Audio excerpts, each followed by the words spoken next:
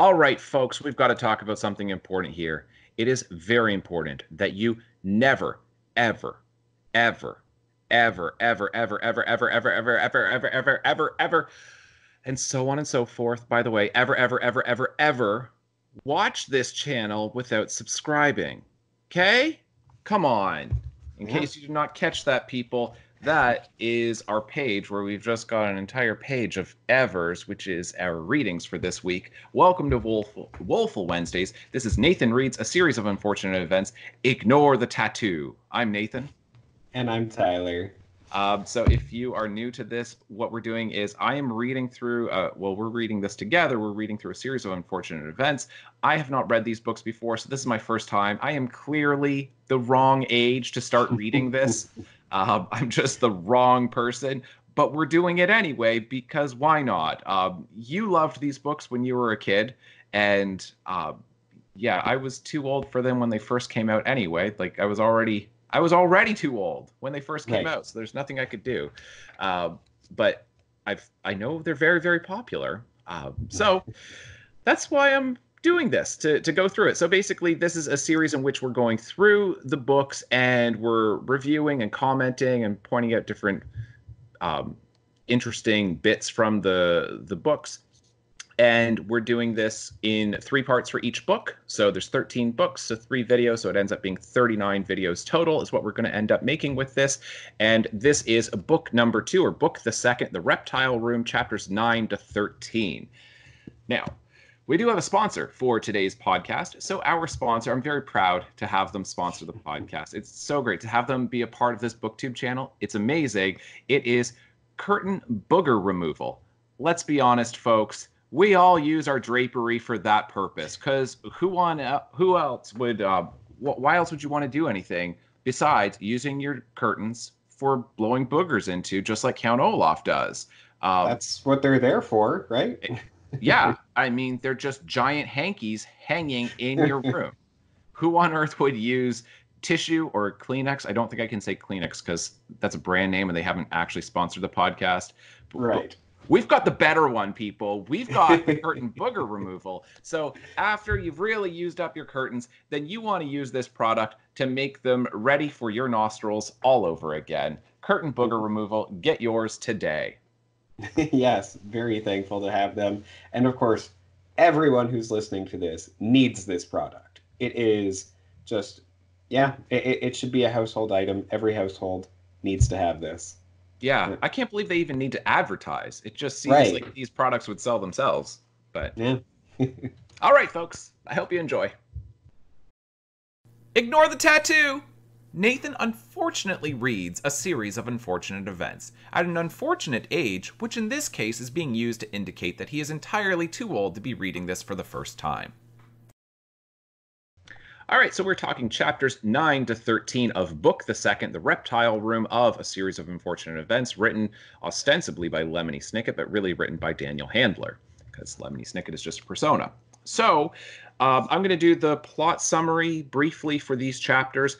Basically, where we're at at the beginning of this is uh, Uncle Monty, he's already dead. Dr. Lucafont has arrived very quickly, very suspiciously. He how it's very suspicious how quickly he arrives, and you've got Stefano, really Count Olaf, who is continuing this ruse that he's actually Stefano, and you've got Mr. Poe who continues to fall for it, and they are quibbling about how they are going to get the kids and their luggage, all of their personal belongings in these two different vehicles with a dead body and all of this and it is quite the debate they, they really seem baffled by how to do this which is uh, being used for comedic effect but uh, that goes on for a while yes yeah well it, it, keeps coming back to it that's the right it's not even that thing. it goes on for a while it's that yeah we continue to to return to that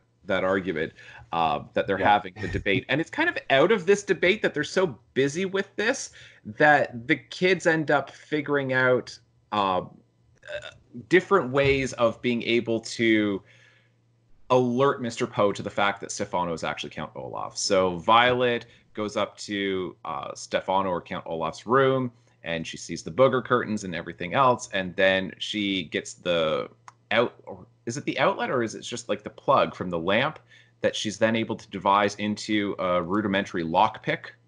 Yeah, I believe it's just the the plug, but yeah. Yeah, so she she gets that, goes out, um, is a, is able to open up his luggage and then finds these things in there with a syringe and the venom and things like that. Brings this in, and Klaus has been able to determine that the what is the name of the snake? Uh, the oh, what is it? The uh, Mamba du Mal, I think. I guess. Yeah, I think you're right. The Mamba du Mal, and uh, he's able to figure out that if that snake actually killed uh, Uncle Monty, then Uncle Monty would have very dark, a very dark hue. But he mm-hmm. doesn't. He's very pale. So they're able to kind of use all of this together to show Mr. Poe that Stefano is actually Count Olaf. And then Sunny is developing at quite a rate because she's able to see through uh, Dr. Lucafont's disguise and see that it's actually the hook-handed man, and nobody yes. else can see this. And yeah. uh, so anyway, so she bites his hand, and it pops I'm, off to reveal the claw. Yes, I'm. I'm convinced that in Lemony Snicket's universe, the younger you are, the more intelligent you are. It sure seems to be that or way. Or at least the more intuitive. it really seems to be that way. He just the yeah the adults are just complete dolts and the children are so smart including sunny that when you're in that pre-language stage of development that's when you're most insightful. Right. Yeah. Um, so i think that's it. I think i covered it right? And i guess by the end then you know count olaf and the hook-handed man they they run off and then mr poe is like all right i'm gonna have to find you um, a new family. Right. Mm-hmm. Yes, and new, yes, new uh, yeah. You. Uh, he says, "You children can't chase after him. I won't allow you." Um, well, then why don't you go after him? Uh, they're too far gone. it was that, and he had another excuse too. What was it? That oh, right. Like... He said that he couldn't leave them alone in the house with the reptiles. Yeah, he couldn't do that, and also I forget what he said. He had so many excuses because it was also I think that he's like too old. Um, right. Yeah. Yes. Yeah. Chasing after people is is a young man's game. Yeah. No, he says a grown man. Mr. Poe said uh, sternly, does not get involved in a car chase. This is a job for the police. I'll go call them now. So good thing the police are not grown men. right. like, I don't understand that. It's like a grown man doesn't chase after people. That's a job for the police. Well, who the hell are the police? Are they toddlers? the most intuitive police force. That's right. That's the detectives are the toddlers, and just the regular, you know, beat cops. Those are like I don't know, maybe like five or six year olds. right. Yeah. Yeah. Um, um, yeah, but I, I, I, think that about does it. And of course, all the reptiles are going to be uh, shipped off to different places. Yes. And this is devastating. Yes supposedly. Uh, the Baudelaire children, this is devastating. Yeah. All right, so let's start with chapter nine. Um, do you want to switch it up and we go through your points first, and then I'll talk about mine? Uh, sure.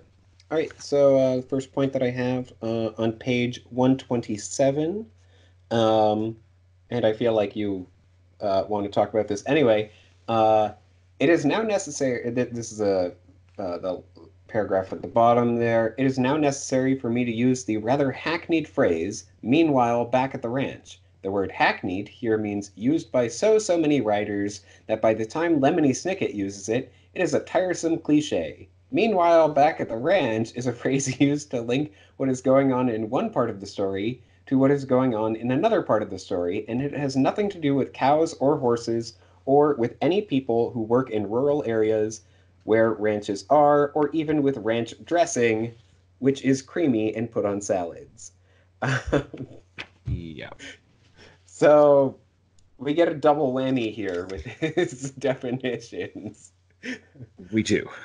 And also, who in the like how is meanwhile back at the ranch a hackneyed expression I have Meanwhile- no idea. sure but meanwhile back at the ranch i don't think i've ever seen that in a book other Oh. than this one Well, I mean, it's from old westerns, like old TV shows. yeah i mean i'm familiar with the expression but i just Right. yeah Yeah, I mean, unless he's talking about like screenwriters and teleplay writers. I- Right. yeah I- yeah, like I I don't know. Uh but Yeah. yeah, I had that marked as well and I just I just wrote okay with ellipses points.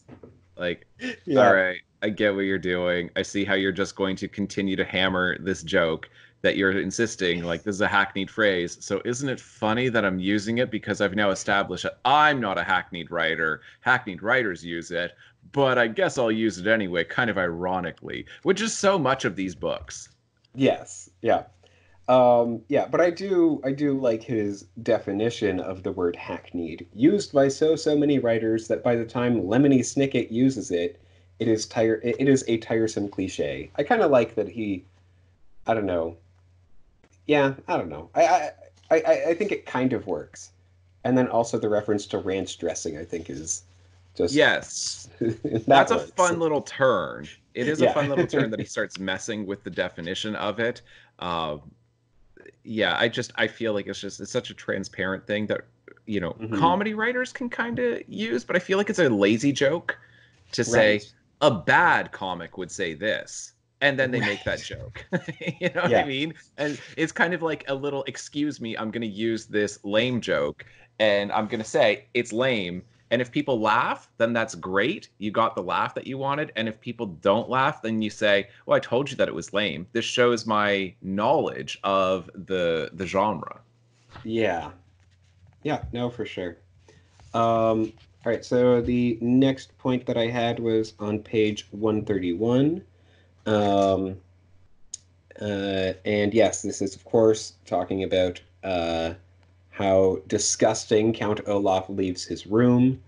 Um, uh, just at the top of that page, the curtains over the windows uh, were all bunched up and encrusted with something flaky, and as Violet drew closer, she realized with faint horror that Stefano had blown his nose on them. Mhm. Um, yeah, it's just kind of uh, really hammering home that uh, Count Olaf is disgusting. Yep. Yeah, Uh, I don't know what to even make of this other than we've established that he's that gross. It's just I feel like Right. I don't know. I, I really want to ask you this question. Do you feel like Lemony Snicket is making um, Count Olaf basically for a, a kid reading this, it's like, wow, my gross brother does that. Do you know what I mean? yes. That it's like Yeah. no adult i can't imagine any adult no matter there's a lot of gross adults you know what i mean there Yeah. really are but i still can't imagine an adult doing that but i can definitely see a kid doing that Right. yes. so like do you think he's putting this stuff in here so then kids will identify that and go ew he's so gross just like my little brother Yeah, uh, I, I could definitely see that. I, I do think that um, that he is embellishing what uh, um, yeah, embellishing what the truth of this story would actually be, as in Lemony Snicket is embellishing um, how oh bad Count Olaf would be. Um, okay I mean, because it also talks about like all the uh, wine bottles, uh, they the half drunk wine bottles there, um, yeah, half half empty wine bottles, and it's just, well, when did he have time to drink all of these? He's only been there for like one day, good point he brought his empties with him and But he they're was sitting empty. outside in the hallway, making sure that the children didn't go anywhere, so he didn't even get drowsy. Yes, another good point. So yeah, so maybe is this just like he's just not thinking, or is this that we're supposed to then presume that he really is um, exaggerating? Yeah, yeah. So I I interpret it as him uh, exaggerating because, of course, he wasn't there. He doesn't know exactly, you know, what these scenarios looked like. Right. I would presume. Right. as much research as he does, like I think that that is just something that is like, yeah, I can imagine this. So sure, he's that disgusting. Okay. I'll go with it. Um, all right, that was all I had for chapter nine. Did you have anything that I missed there? Um, I think so. Um, and in case anybody missed that, then I now have a cat on my lap, so it's a little bit harder to follow along here. And you can't quite see him. I, I would turn the camera down so that way everybody can see how cute he is, but um, then he's going to be upset because I'm going to have to get up to do that. So you're just going to have to trust me that we might get some uh, purring picked up on the mic here. he's getting pretty comfortable. Um, yeah, so I did have that passage marked where I said, okay. Uh, the next one is on page 128. And he says, this is like the starting with that paragraph in the middle of the page. Meanwhile, back at the ranch, Violet went to listen at the kitchen door, trying to catch what the adults were saying. As I'm sure you know, the key to good eavesdropping is not getting caught, and Violet moved as quietly as she could, trying not to step on any creaky parts of the floor. Okay, I want to keep going with this, but I want to point out so what he's doing is he's saying he, he's not presuming that kids are innocent. He's presuming that they absolutely, um, you know, spy on people and they eavesdrop. And he's saying, "You guys know what I'm talking about, and you know how to do this. You know how to do it well." And it's this clever little thing because it's then implying that if you don't know how to do it well, I'm going to show you how to do it really well. Because then saying she had she moved as quietly as she could, trying not to step on any creaky parts of the floor. When she reached the door of the kitchen, she took her hair ribbon out of her pocket and dropped it on the floor. So if anyone opened the door, she could claim that she was kneeling down to pick it up rather than to eavesdrop. This was a trick she had learned when she was very small, when she would listen at her parents' bedroom door to hear what they might be planning for her birthday. And like all good tricks, it still worked. So, children, if you did not know how to eavesdrop on your parents and how to, if you do get caught, how to be able to easily get out of it, this is how. So he's kind of having it both ways. He's saying, you guys probably already know how to do this. Like he's saying, I'm sure you know how to do this. And some kids are like, I don't know how to do this. And they're like, by the end of this, a minute later, they're like, now I know how to do this. yeah. So yeah.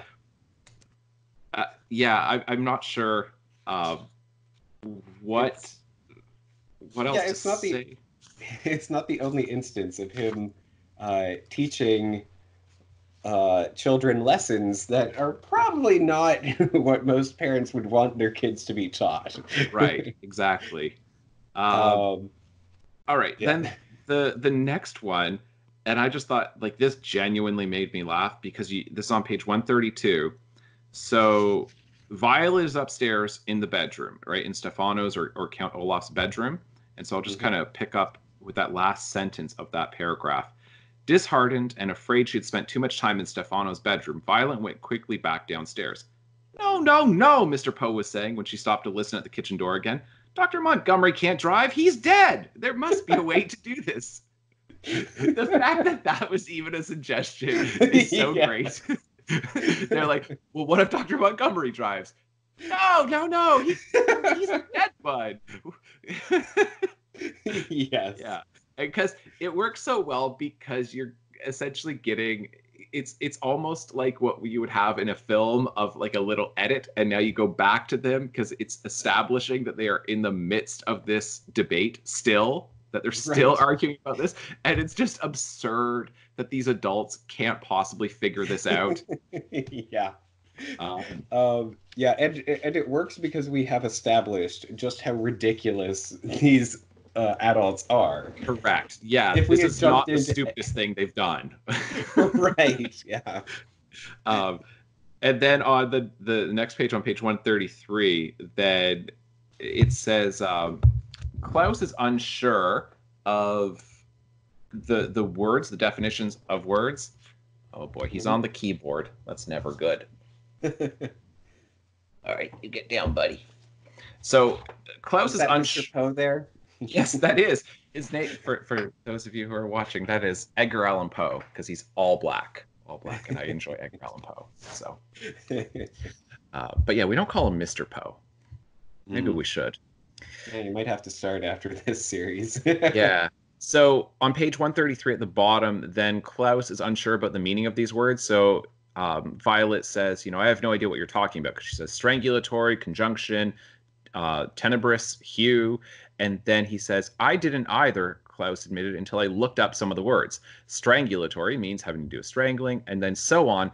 And I just, uh, in exclam like with an exclamation mark, then I wrote, yes, look up those words. But I think that this functions as a, a didactic text and didactic means a, a, text that is like a teaching text right mm, essentially yeah. functioning as like teaching you a lesson um, yes. and so i feel like these books have been didactic in that sense of teaching children how like what these words mean by them providing you with a definition but then saying hey, if a writer doesn't give you a definition, and even from context clues, if you still can't figure out what the definition is, you can also look it up. Because right. I've done this enough times in the classroom where I, show students, especially when I'm teaching French, um, because I teach French as a second language. And so I'm trying to show my students if you don't know what the word means, instead of their immediate resort is ask me what it means, and then I show them, you have multiple steps before you ask me, right? Yeah. Which is I'm fine with them asking me, but I say you got to go through multiple steps before you get there. And it it's functioning to me as a didactic text because it's then saying, this is an option, kids. You can look up the words, individual meanings of words to be able to to learn what they mean. So I was happy to see that. Hmm. Yeah. No. Very good point. Uh. Yeah. No. I. I, I do think that that works uh, much better than some of the other uh, definitions that we've got in because it is, yeah, very clearly saying that this is how Klaus knows all these words that he is offended when people, you know, assume that he doesn't know. It's right. He's looked all these up. yes. And yeah. Um, and now for the rest of the book, I've only got a couple notes for chapter 10, and that's it. Oh, okay. Yeah. All right. Uh, so in chapter 10, uh, top of page 142. This is the other moral that we get. The story's yep. moral, of course, ought to be never live somewhere where wolves are running around loose. But whoever read you the story probably told you that the moral was not to lie. This is an absurd moral, for you and I both know that sometimes not only is it good to lie, it is necessary to lie. so, I mean, I don't know what to make of this. oh, I'm so glad that you brought this up because I'm about to end this man's whole damn career. Um, now, I don't really mean that. It's fine, but this has kind of been my, my point so far with the books is that he is con- he is presenting these books as being so edgy and so um, you know, oh, this is not appropriate for children, and these are such dark stories, and I'm going to teach them lessons that seem like you can't tell that to kids, right? And I'm just going, uh huh, sure. like, sure, this is edgy. Sure, like you're doing something original here. So, um, this is so the story that he's he's talking about initially is the boy who cried wolf, mm-hmm. right? And then saying that the story's moral, of course, ought to be never live somewhere where wolves are running around loose. But whoever read you the story probably told you that the moral was not to lie. This is an absurd moral. For you and I both know, what does he say? For you and I both know that sometimes not only is it good to lie, it is necessary to lie. And then it goes on. All right. The classic children's literature, um, children's book, Harriet the Spy by Louise Fitzhugh was, as I'm pretty sure, was first published in 1964. Okay, everybody knows Harriet the Spy. Like whether you've read it or not, you know the the title, you know the name. Yeah. Have you read Harriet the Spy before? I have not. So I've still got my notes from Children's Lit. I took Children's Lit in university, so I did take an entire course on Children's Lit. So as much as I say I don't know what I'm talking about with Children's Lit, it's I, I don't. I did take one course where I read something like 50 like children's books. So right. like like a lot of them were novels, you know, um, so it's not like they were picture books, mm-hmm. and um, but I still feel like that's hardly qualifies me in any way. And this is in my edition of Harriet the Spy. This is page 278, and this is Harriet's nanny, who is he write uh, she writes her a letter because basically Harriet spies on everybody. She's eavesdropping, okay, and she is acting as a spy to see what everybody's up to, right? And then her her nanny ultimately writes her this letter. I forget the reason why she she's not there anymore, um, but it's um, her name is Ole Golly Waldenstein is her nanny, and so she says she gives her two pieces of advice. Number one, you have to apologize. Number two, you have to lie. And then this is what she says. Otherwise, you're going to lose a friend.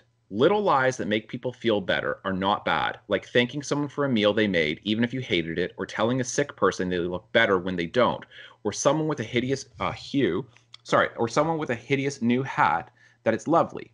Remember that writing is to put love in the world, not to use against your friends, but to yourself, you must always tell the truth. So essentially, you need to tell the truth to yourself, but you have to lie to other people because that's actually the better thing to do in in many cases. And it is a challenging, a challenging uh, lesson to teach children to overtly tell them your problem is that you tell the truth. You need to learn how to lie.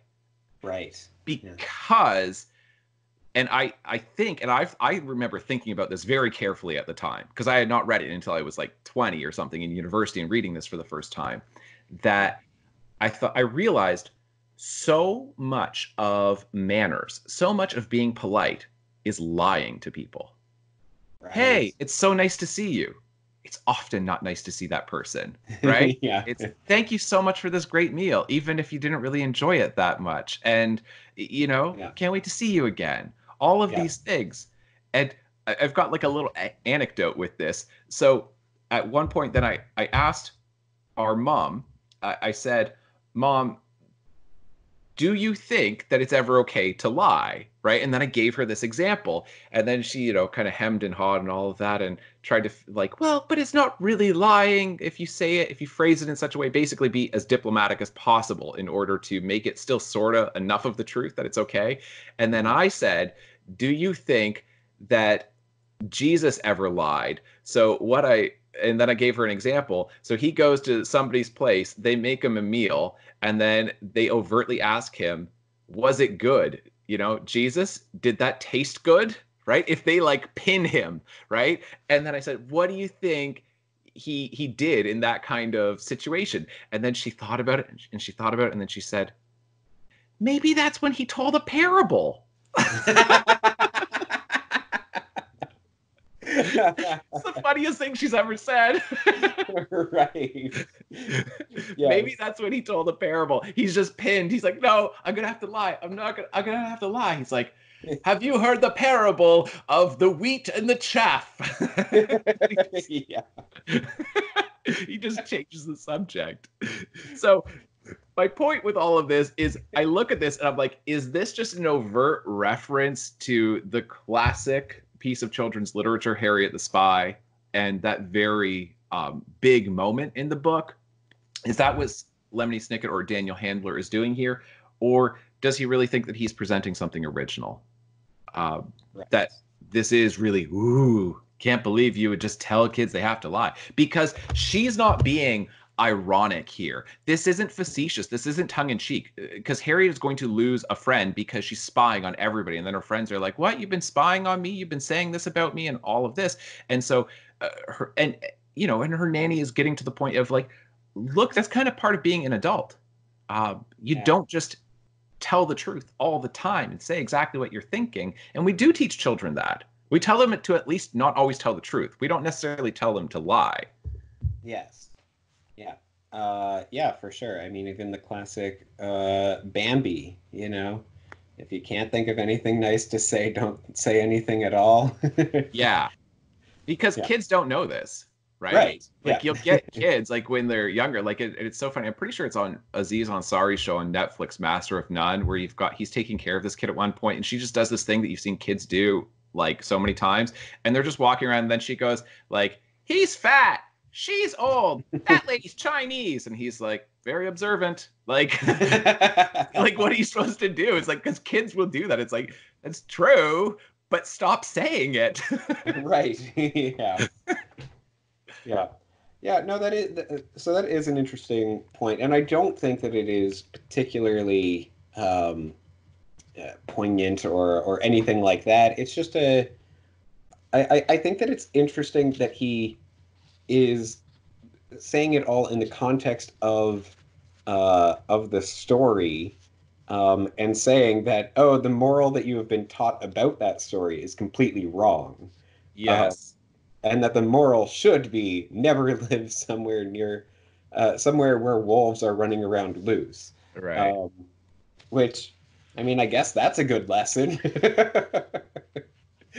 um, but uh, but yeah no that so it's it's interesting because he's not really even directly I mean, he is directly saying like sometimes it's you know okay to lie, but it's this weird kind of commentary on the stories, like on these children's stories. yes. Um, yeah. Anyway, uh, and then and then he does, of course, refer to Little Red Riding Hood as very dim-witted. Yes. He says um, uh, later on uh, on page 142 uh, the last sentence there you will recall that the wolf after being treated very rudely by little red riding hood ate the little girl's grandmother and put on her clothing as a disguise. It is this aspect of the story that is the most ridiculous because one would think that even a girl as dim-witted as little red riding hood could tell in an instant the difference between her grandmother and a wolf dressed in a nightgown and fuzzy slippers. Yes. yes, I, I put I, I marked this and I said this is very funny, a la Olaf Olaf's disguise. Um, yes. That of course we know what he's talking about. That everybody should have caught it, especially Mr. Poe.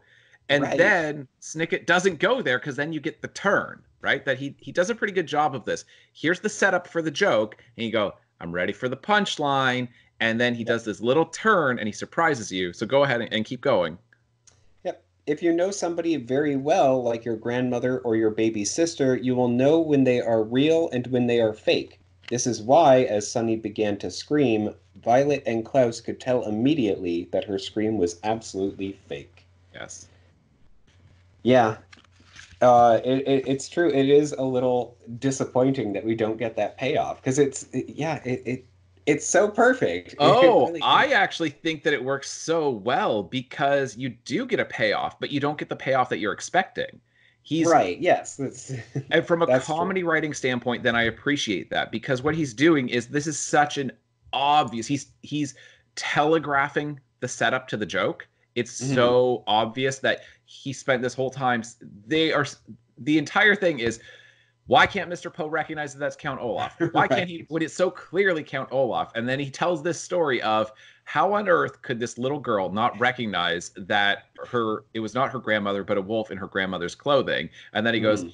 You would definitely be able to recognize like your sibling or um, Yeah. right? Does he not say that? Does he not say sibling? Yeah. Your grandmother or your baby sister you'll know when they're Yeah. real and when they're fake. This is why as Sunny began to scream right? And then you're like oh violet and klaus could tell immediately that her scream was absolutely fake. And then you're just like because it's a funny little thing because then it's like right. damn it snicket you don't even know this you don't you you don't know how to like get, deliver the punchline. You're not seeing the connection here between Little Red Riding Right. Hood and Count Olaf. Like you don't get it. So then we get to be in on the joke, and we're like, "Huh, I'm smarter than Lemony Snicket."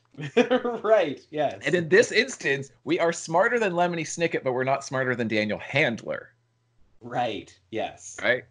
Yeah. So Yeah. I no, really very- appreciate it. I point. thought like this entire thing I thought was great. Even though like I Mm. like because of course I was being facetious before, like saying like, oh, he's not doing anything original here, edgy with because hey, Harriet the Spy does it really well. I'm Mhm. saying he's playing with stuff that's pretty well established and then taking it in surprising directions.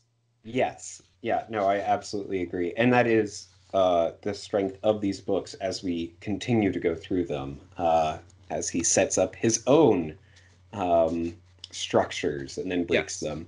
Exactly. Um, yeah, yeah, no, absolutely. Um, all right, so the next point that I had was just uh, on page 146. There are two basic types of panicking standing still and not saying a word, and leaping all over the place, babbling anything that comes into your head. Mr. Poe was the leaping and babbling kind. Like, of course he was. you know, like of course he's that right.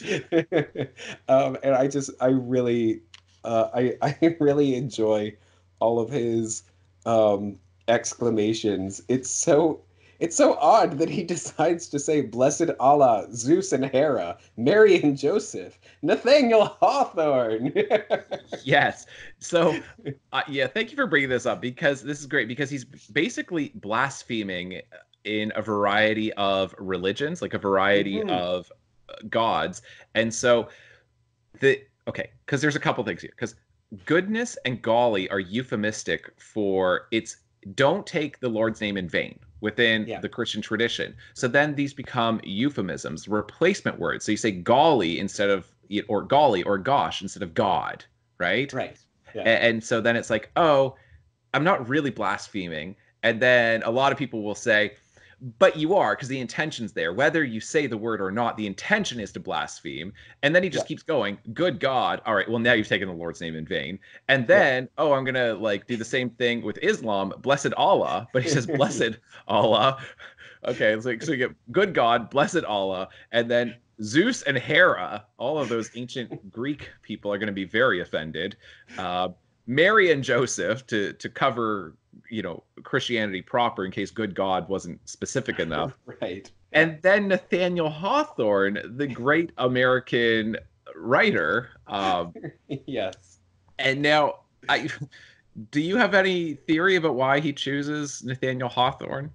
Uh, so I I don't know much about Nathaniel Hawthorne. I just know that he is uh, a very well known writer, but I can't even name one of his works. Okay. Um, uh, but yeah, no, just like this idea of um, uh, my assumption is don't ever say anything negative about him. He's perfect as a writer. Oh, yeah. Okay. That's maybe one way of viewing it. I didn't quite go in that direction. So, Nathaniel Hawthorne, uh, his most famous work is called The Scarlet Letter. Okay. With, oh, yes, of course. Yeah. And, and Hester Prynne is the protagonist of this. And it's a 19th century book which gets taught all the time. And when i took american lit then my professor described it like the structure of it and like the the way it, it plays out that it's perfectly structured um, with this symmetry to it. And in some way so maybe there is something to the the perfection that nathaniel hawthorne right. achieved with the scarlet letter that is one of the great american novels. But i think what it is though is that it the book's taking place even though he's a 19th century writer it's taking place in the puritan era america where this woman so and puritans of course would care about taking the lord's name in vain. Right. so it's like by invoking the name of nathaniel hawthorne and then to me it's like you should think about the scarlet letter so then you should think that was a puritan society where they'd be very very offended by this book and specifically by that passage. So is that what you're trying to do to to invoke kind of puritanism out of mentioning Nathaniel Hawthorne. But then the other thing is that the protagonist of the book, she has to wear this red A, right? This scarlet mm-hmm. A everywhere she goes because she has been caught committing adultery. So mm-hmm. everyone in the community has to know the sin that she has committed, that she is forever stained by this. And yeah. then you get to point to her, then say she's sinned, and then it's like, and then you get the turn. So it's like now by you judging her, you have sinned. So it's kind of a commentary on the entire community that they're constantly sinning by judging her, which is an interesting thing that Hawthorne's doing. So it's just I don't I don't know what to make of it other than like that's his most famous novel, which definitely has to do with us pointing out that person's a bad person. Uh, sorry about that. So our connection got cut off for a minute there. So I'm saying I don't quite know what to make of this whether he's just pointing out the references to this Puritan society, or whether he's trying to get us to think about Hester Prynne and how the entire community looks at her and judges her and then says, she's a sinner, she's a sinner, she's a sinner. But by doing that, then they are then judging her, which is, you know, essentially like saying, like the, the Christian, the, the scripture in the New Testament that Jesus gives a parable about there's the speck in your neighbor's eye, like you're pointing out the Mhm. speck in your neighbor's eye. Meanwhile, you've got a plank in your own, and essentially, it's by pointing out the sins of others, you are now enter. You're acting as a judge, right? And you know, co- of course, you get the judge not lest ye be judged. It's like don't judge other people. So I feel like maybe what he's trying to do there with this is saying you're now going to judge me as being a bad person, a bad writer for including all of these blasphemies in my book. So Right. I've now blasphemed in multiple religions. So we're now going to say, you're a bad man. And then it's like, I'm judging you though. So now it gets turned around on me. Hmm. Um, and I don't know that that's what he's doing. I don't know if it's just supposed to be a random, I'll just, you know, it could have been Herman Melville, you know, another right. 19th century American writer. Like, I don't know. Uh, but I'm trying to give a couple theories there. Yeah, yeah, no, I do. I, I, so I do think that there's something to it being um, uh, blasphemous to uh, to bring Nathaniel Hawthorne's name out in vain. Um, and yeah, I just feel like it's something where uh, perhaps it could have been any other writer, but the fact that there is that connection to the Scarlet Letter, I think, makes it even stronger. Yes. Yeah. Yes. So I, that's all I really had to say with that. Okay. Yeah, yeah, no, I just uh I I marked it and then forgot to look up Nathaniel Hawthorne before we uh Right. started recording. But yeah, so thank you for for that. Um all right, the next note that I had uh, for chapter 10 on page 150, we get uh um we get aha, Sunny cried again, pointing at Stefano. The incredibly deadly viper blinked its green eyes triumphantly. Mr. Poe looked at Klaus puzzled. What does your sister mean by aha? he asked. Klaus sighed. He felt sometimes as if he had spent half his life explaining things to Mr. Poe. That line is so perfect. I I really love that as well. Like I like the fact that he just gives up. He just sighs. Just cloud Yeah. sigh. Just right. yeah. It's just such a good moment of, yep, you you are going to spend all of this time just constantly having to explain things to Mr. Poe because he does not get anything. right. And it is explaining it to Mr. Poe, but I I do wonder if there's also trying to think of this as children's lit and specifically like children are the demographic that he's going for that is his his audience like his readership that he he's writing to and kids i think often feel this way like if you like Yeah. you've got a kid who's i mean let's say for instance when you were a kid i i'm, I'm going to kind of pick on you and if you Mhm. want me to to not then then i i won't you can just tell me hey stop but okay. how many times as a kid did you have to explain like Digimon or Bionicles or whatever to like mom or to me or whatever? Like maybe not Yep. to me so much, but to any adult. And then you're like, I've already explained the difference between Pokemon and Digimon because I remember, like, I would, I would mercilessly Yeah. tease you about this. Ah, you're playing your stupid Pokemon, and you're like, it's Digimon, it's different. And I'm like, no, it's not. You're like, yes, it is. And then you would like really elaborate on the differences between Pokemon and Digimon because you had no patience for Pokemon, but Digimon was completely different. That Yep. I think that's maybe what he's trying to do here, like with Klaus, that kids are like, exactly. You just get to the point where you, instead of trying to explain it, you just say, you keep asking me these things. I keep explaining it, but you're never going to get it because you're too dense. right. that I think a lot of kids Yes. feel that way, right? Yeah. Yeah. No. Absolutely. Um, yeah. No. It, it is such a great moment there. I. I. Oh, I really love that line. Um, I and I mean, like, I think that's fair, right? Like, be like with my like teasing, Yeah. because I intentionally Yeah, yeah, yeah. no, for sure. I, I, we, we have. I don't know why, but Amanda was one time, like our sister Amanda was one time using her video camera, and she was like, "Okay, explain to me Bionicle." Like, and I was like, "Okay, so this is Tahu. He's the fire guy," and I just went off on like this whole thing, right. and it just. It was important to me, and I could understand this whole thing. And how could you possibly not understand that the It's- red guy was the fire guy? And right. And yeah, I mean, so many kids feel that way. Like, I mean, I definitely had that. Like, I mean, like my thing, like when I was, uh, you know, basically that age, like I was into Power Rangers, and I remember right. our dad like went off on me, like saying how Power Rangers was you know, so inferior to Star Trek. And I argued with him because he didn't know Power Rangers the way I did. He didn't understand what the show was about. And right. yeah. but kids, I think, yeah. often feel that way. So I think that's what's happening there. I think that's what Handler is trying to do. He's trying to get children to identify with Klaus in that sense. Not so much that kids are so much smarter than adults, but they feel like they are in certain domains. Yes. Yeah, absolutely. Um, yeah, and I do think that there's also, I mean, we get so many references uh, uh, or, or so many examples of uh, of Sunny saying something completely innocuous, and uh, Klaus and Violet are just able to understand her completely, uh, and nobody yes. else can. And so, in this one moment where it's so explicit, right. she said, "Aha." Good point. Good point. and it's like, oh come on, you can't understand what she means by aha. right. um, yeah, so I love that that's like the one time when somebody actually questions that. Yeah.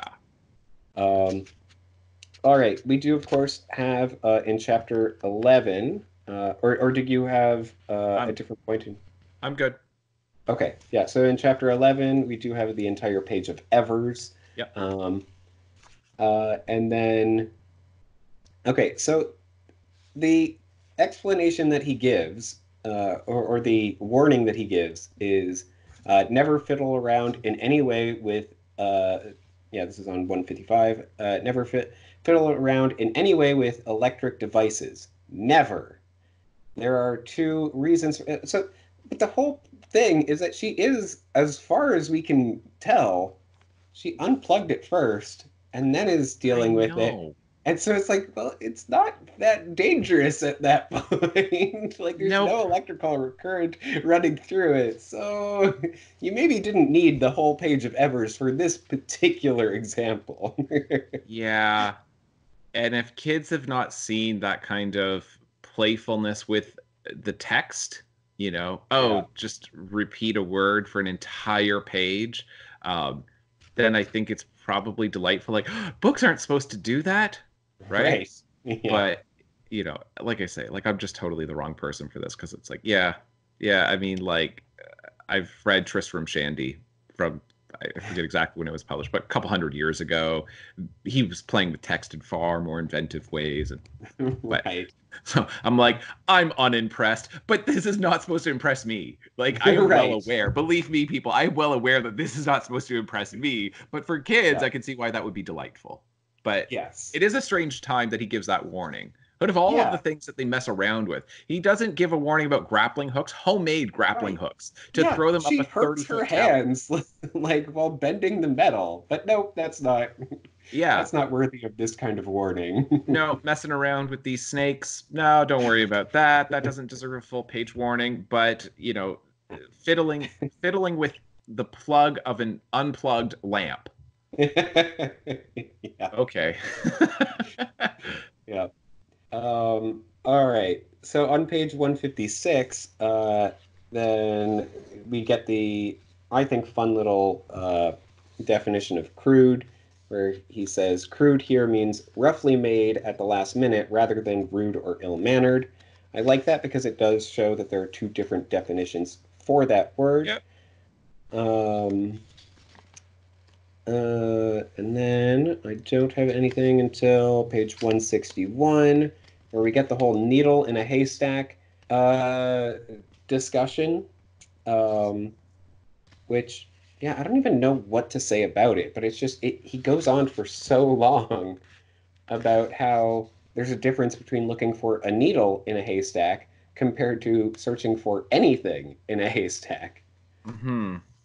Um, and but I do like that he um, yeah, he says uh, uh, because once you started sifting through the haystack, you would most certainly find something. Hay, of course, but also dirt, bugs, a few farming tools, and maybe even a man who had escaped from prison and was hiding there. Mm-hmm. Again, just completely the direction that he that Lemony Snicket's mind apparently always seems to go um, to the nefarious. Right. um, but yeah, that's the only real comment that I have on that. Um, yeah, I mean, I think it's maybe also in a in a way of these books being didactic texts of you know teaching children that it's essentially teaching them. I think kind of what he's doing because at times this is another instance of we the readers are smarter than Lemony Snicket. We're not more Hmm. clever than Daniel Handler, but we're going. right. That's not how you interpret a metaphor. When somebody Right. says it's like finding a needle in a haystack, then he's being very, very literal. It's almost like an Amelia Yes. Bedelia type of interpretation of it. It's like you're taking this so literally, trying to like, you know, surmise the meaning of it that Mhm. like you're totally missing the point. Yeah. So it kind of allows us to be a little smug, I think. Yeah, Right. I'm I'm smarter than even the writer. yes. Yeah. Uh, yeah, no, that's a good point.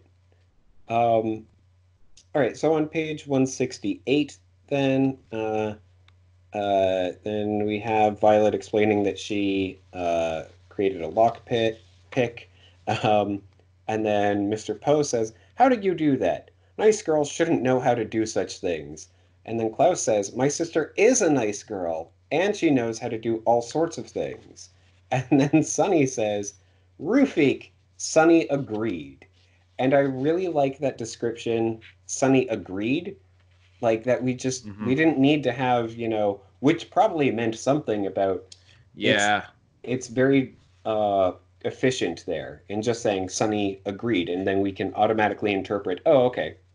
and based off of what Sunny ends up doing, um, where Sunny can see through Doctor Lucafont's disguise, it's setting Mhm. this up that um, Sunny, I think, is developing. Sunny's getting smarter. Right. Yeah. Uh, that now Snicket can tell what Sunny means because Sunny does have meaning behind her words. Yes. Yeah. Yeah. Or behind her her garbled words. Yes, absolutely.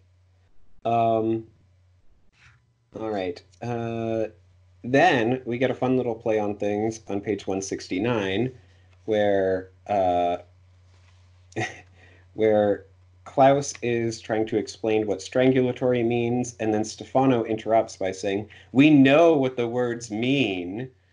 And I just kind of like that little play on, you know, Yes. again, the, the What formula Klaus that we have set up. Yes. yeah. Um, and that it's ultimately um, pride that undoes Count Olaf here. right. Right. Yes. Yeah, absolutely. It's Um, interesting because the kids are pretty prideful as well, Mm-hmm. and this Yeah, is such are. a vice. It, it like this is like his own undoing, and of course, is a tragic flaw. Then pride is you know right up there. Um, and Mhm. so we see this and we go, oh, he just couldn't help but show off his fancy book learning, right? Right. Yeah. and that's ultimately what undoes him and then you look at this and you're like yeah but they're not so good at you know toning that down at resisting the urge to show off their fancy book learning Yes. Yeah, no, that that's a very good point. Um, yeah. Um, all right, so final chapter, and I know like I do want to, you know, wrap this up. Uh, so we get the explanation that Gustav is dead on page 177. Um, Gustav didn't quit. He said in his wheezy voice, Gustav is dead. One day when he was out collecting wildflowers, I drowned him in the swarthy swamp. Apparently, everything in this uh, community uh, has some kind of um, it's alliteration. yeah Yeah. yeah um, uh, yeah, then I forged a note. Uh, let me see. Uh, oh, yes. Um, Count Olaf looked at the three children as if he were going to run over and strangle them, but instead he stood absolutely still, which somehow was even scarier. hmm Um, and then, but that's nothing compared to what I will do to you, orphans. You have won this round of the game, but I will return for your fortune and for your precious skin. Okay. that escalated quickly. yes um, yeah, no, but I, I do like that. you know, it's it's very direct in this is a series of unfortunate events, and of course, Count Olaf is going to be back multiple times, and that it's just kind of, you know, uh, it's a it's a little bit of um, uh, I want to say Scooby Doo, but it's not quite Scooby Doo, where it's you know Mm. like, uh, or, or Inspector Gadget. You know, Mm. it's it's the Next Doctor time, Claw Gadget. Next time. yeah, Yes. yeah, Yeah. So I just uh I like that because I mean I love Doctor Claw from Inspector Yeah. Gadget. I used to be able to do a good impression. Next time, Gadget. Next time. Right? Yeah, that's pretty good. Like, I used to do it a lot. I don't know Yeah. why. I still do it a lot. It's just it so much skill I felt I had to develop. right. yeah. Which is only going to have like it's never going to be appropriate to use, but right. Well, I actually included that voice in a play that I was once in. oh okay, yeah, acting, acting it can work. Yeah. So. I was I was I was one of the spirits in in Macbeth and yeah. Oh, So yeah, it worked. Uh, all right. Um, so uh, on page 183, uh, and this is my second last note. Uh, then we have um, we have Violet say, "Who are you?" Violet asked. It is confusing to fall asleep in the daytime and wake up at night. What are you doing with Uncle Monty's reptiles? Klaus asked. It is also confusing to realize you have been sleeping on stairs rather than in a bed or sleeping bag. Dixnick, Sunny asked. It is always confusing why anyone would choose to wear a plaid suit. I really like that. It's, yeah, again, like we don't need the full explanation of what she's saying. It's, it's efficient and and fun and Yes. without dragging down you know the uh, the pacing by including this whole uh, yes. explanation I agree. I agree. Yeah. um yeah and let's see. Oh and i also wanted to call out uh, on page 188 going into page 189 uh, i really like the imagery that uh, that daniel handler uh, wrote in here with uh, it was a full moon and the moonlight reflected off the glass walls of the reptile room as though it were a large jewel with a bright bright shine.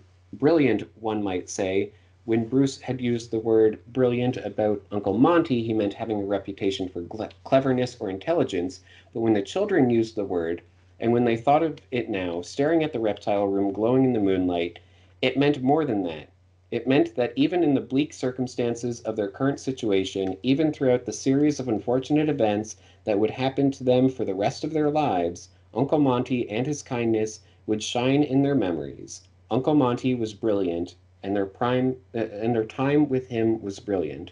Bruce and his men from the Herpetological Society could dismantle Uncle Monty's collection, but nobody could ever dismantle the way the Baudelaires would think of him. I just think that that is very well written. Yes.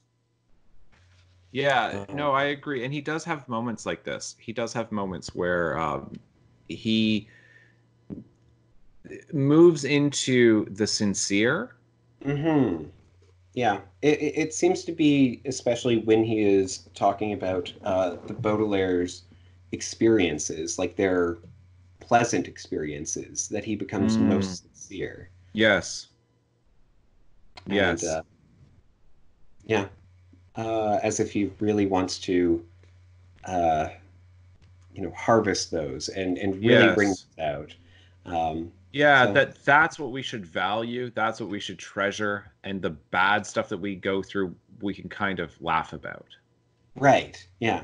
That's an interesting way of, of viewing this. I want to see how well that holds up with the rest of the series because you're right. I think there is something to that. That when he is sincere, it is those um, nostalgic moments where nostalgic and and uh, moments where they're thinking about these good things that have happened and these pleasant things, and he seems to be sincere there and not really facetious.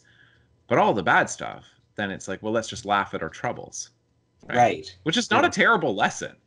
Yeah, yeah, no, absolutely.